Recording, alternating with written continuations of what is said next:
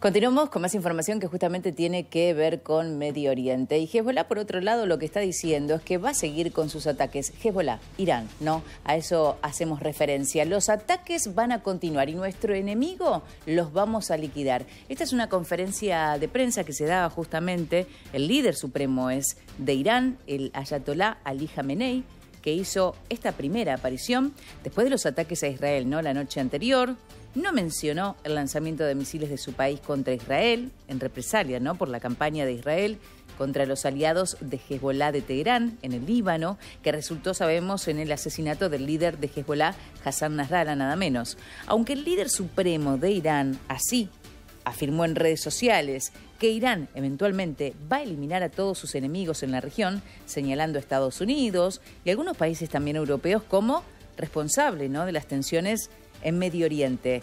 Jamenei sostuvo que una vez que estos actores abandonen la región, bueno, las guerras cesarán por completo, esto así lo aseguraba.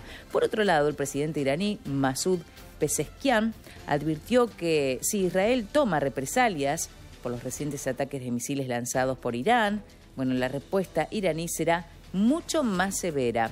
El mismo Pezeshkian destacó que hasta ahora solo han utilizado una fracción de su capacidad de ataque. Bueno, esto es casi como una especie de amenaza.